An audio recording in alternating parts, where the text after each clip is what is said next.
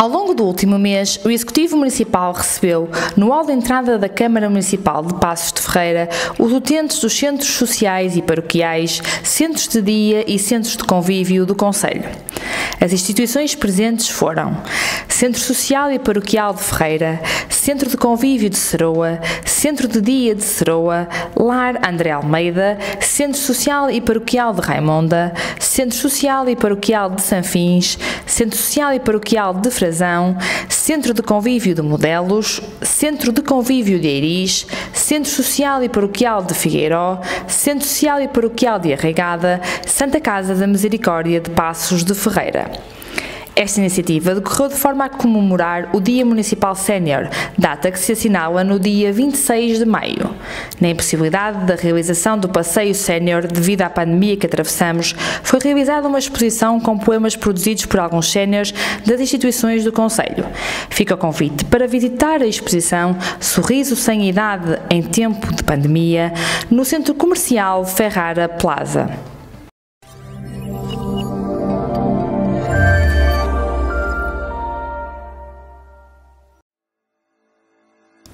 Câmara Municipal, Humberto Brito, acompanhado pelo vereador Paulo Ferreira e pelo Presidente da Junta de Freguesia de Friamunde, José Luís Monteiro, visitou na passada quinta-feira a Rua de Matos Pessoa, uma obra que está a decorrer dentro das condições previstas.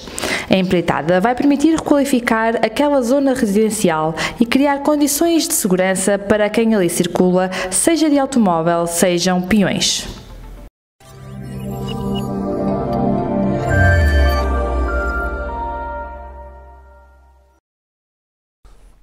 Estamos aqui com um jovem conterrâneo de Meixomil, um jovem talento de 23 anos. Ele é aluno de mestrado na Universidade de Minho em Engenharia Informática, chama-se Leandro Costa e é nosso convidado porquê? Porque ele foi, conjuntamente com um colega, o grande vencedor dos prémios Arquivo.pt.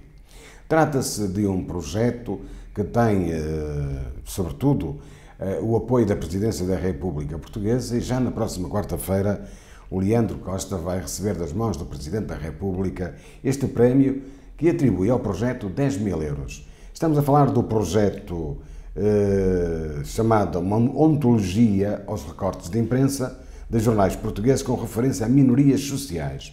Ou seja, basicamente, ele vai já nos explicar melhor isto, é um projeto que permite uma pesquisa em face de oito ou nove grupos de minorias, através de uma pesquisa na internet.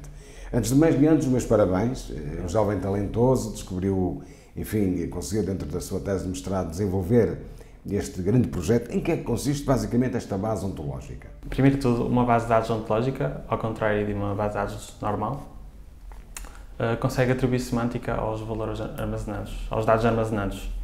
E este desafio surgiu uh, através do concurso Arquivo PT 2021, em que vi, vimos um, eu e o meu colega víamos um póster no departamento de informática e tivemos interesse no projeto e, e o desafio era utilizar os dados do arquivo.pt, que é um repositório online que armazena as páginas web de portuguesas dos últimos 20 anos.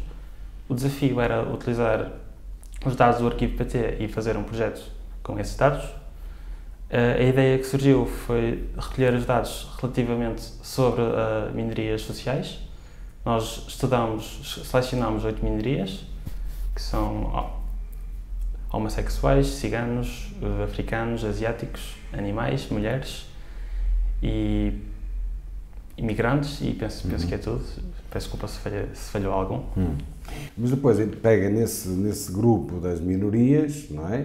Eh, e está a dizer que, digamos, a grande diferença deste projeto é que ele permite, através eh, de uma palavra, associar um algoritmo que vai levar, que vai levar hum, à pesquisa que se pretende.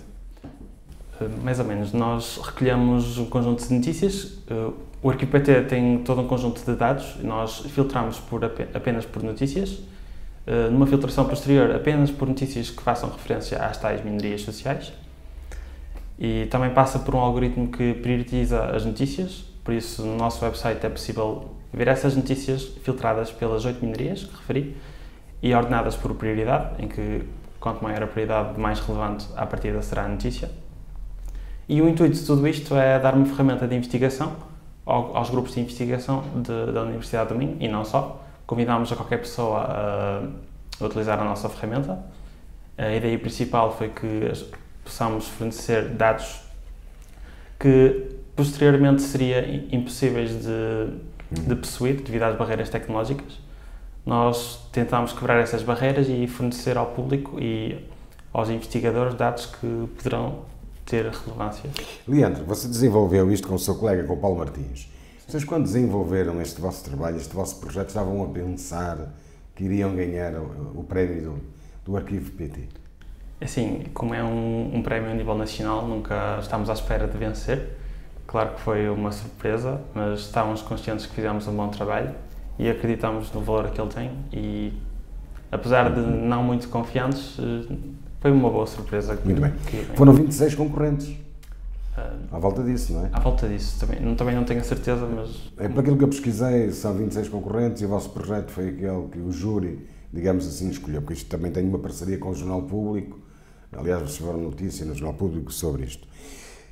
Minha última pergunta, Leandro. Os jovens hoje têm oportunidades eh, muitas vezes inesperadas. Eh, mas também há jovens que dizem que o tempo em que vivemos é um tempo sem oportunidade. A minha pergunta é esta: as oportunidades estão aí a monte semear e nós, neste caso os jovens, têm que ir à procura dessas oportunidades?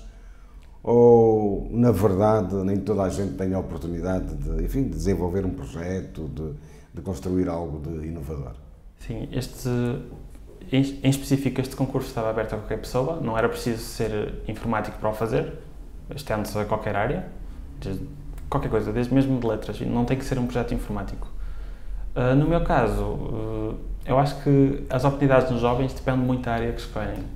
Infelizmente, nem todas as áreas têm saída e um pouco o motivo que eu decidi optar por esta área foi mesmo por isso que tenho noção que neste momento existem muitas oportunidades, quer seja jovem ou não, não interessa, eles querem pessoal na, na minha área, pelo menos. Muito bem. Os meus parabéns. Bom, o Leandro Costa foi recebido esta sexta-feira pelo Sr. Presidente de Câmara, que já lhe atribuiu um, um, diploma de agradecimento e de mérito, porque na verdade é muito importante mostrarmos também aos nossos concidadãos os talentos, os jovens talentos que vão nascendo no nosso Conselho e que muitas vezes são ignorados. Aqui procuramos que isso não aconteça, portanto quero-lhe agradecer a presença, dar-lhes parabéns e desejar-lhe um dia feliz, na próxima quarta-feira, quando o Sr. Presidente da República Portuguesa, o professor Marcelo Rebelo de Sousa, vos atribuir eh, o prémio justo e merecido. Meus parabéns e muito obrigado.